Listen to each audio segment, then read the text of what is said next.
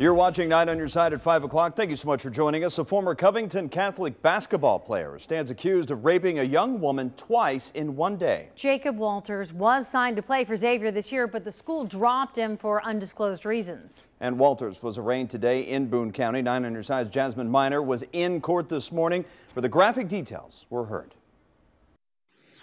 The details heard in court today of Jacob Walter, who is accused of holding down and raping an 18 year old girl, was difficult to hear and even too graphic to air. Even Walter's father, Joe, who is a former Bengals player, looked devastated hearing the accusations of how Walter severely injured a young girl. Not once, but twice. Walter flipped the victim onto her stomach. All in one day, 18 year old Jacob Walters is accused of repeatedly assaulting, choking, and ignoring the victim's pleas to stop, according to prosecutors. The victim said that she was fearful of further injury due to his size, strength, and aggressiveness. Walter, who is seven feet tall and weighs 300 pounds, couldn't be fully seen on the screen for his arraignment but his actions were clearly heard throughout the courtroom. Pulling her hair, resulting in injury with bleeding. Even by his own father, Joe, a former Bengals player, who was visibly in distress hearing the charges against his son of one count of rape and two counts of sodomy.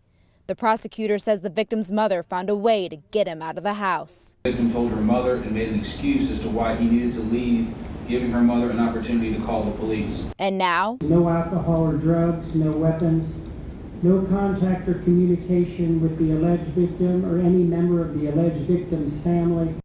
Walter's bond is set for $250,000 and his next hearing is December 17th. I'm in Burlington. Jasmine Minor, 9 on your side.